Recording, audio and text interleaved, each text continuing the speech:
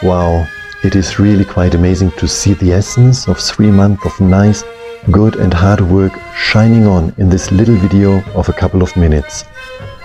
Seeing the progress we made little by little until finally receiving so, so many kids laughing, playing and jumping around.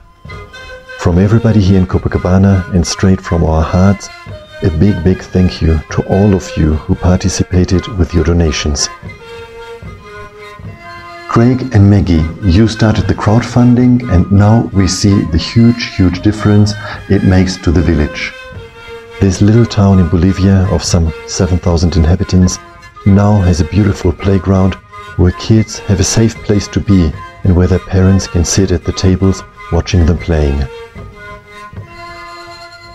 If I think that only four months ago Maggie Craig and their beautiful kids visited Copacabana, it was probably an absolute record in accomplishing this playground. In a matter of days, the villages and the mayory approved the use of the central and spacious municipal grounds that we were able to use. Your donations grew and grew and our little group of workmen showed all their skills. We also had such a perfect inauguration. So, so many families came and many kids were playing and everybody was simply happy.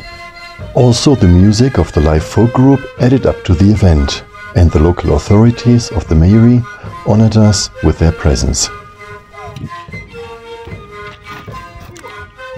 And there really is no greater joy than working with a perfect team, building something beautiful. Once more, many, many thanks to all of you for your support and a big, big hug from Bolivia and a strong applause from all of us.